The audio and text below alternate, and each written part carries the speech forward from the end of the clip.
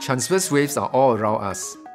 They can be found in a ripple tank, slinky, and even a gym rope.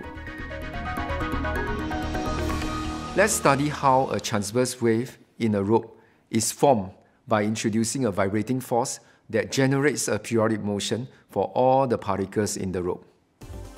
We will be using numerous individual particle models to represent the particles in the rope.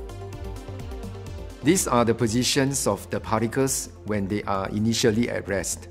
Consider a vibrating force which disturbs the first particle to produce a periodic motion of period of 12 seconds.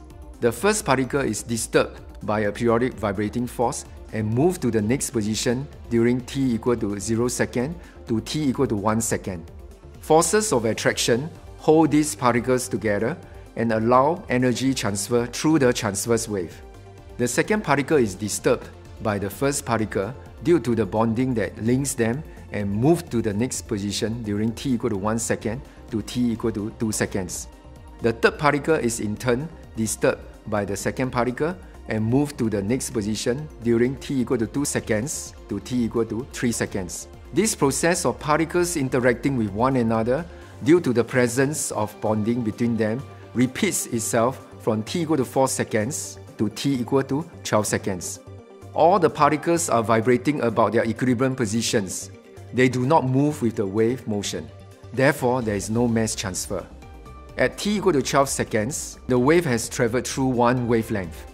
Can you predict the position of all the particles in the wave at t equal to 18 seconds?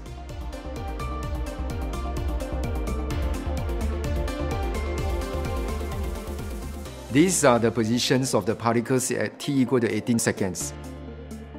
Similarly, these are the positions of the particles at t equal to 24 seconds, t equal to 30 seconds, and t equal to 36 seconds.